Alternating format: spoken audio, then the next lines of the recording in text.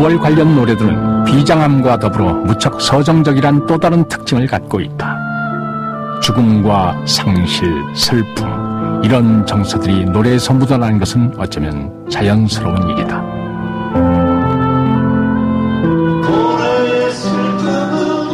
박문옥이 목련이 진들을 작곡한 것은 90년대 초 우연한 계기로 노랫말을 만났다고 한다. 92년도쯤에 제가 그 강진으로 이사를 갔어요.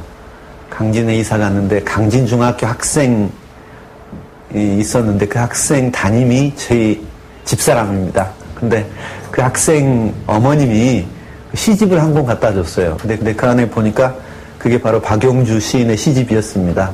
그래서 그걸 보는 순간 아 이건 노래로 만들어서 부르면 참 좋겠다 이렇게 생각하고 작곡을 한 다음에 거리 음악제에서부터 부르기 시작했죠.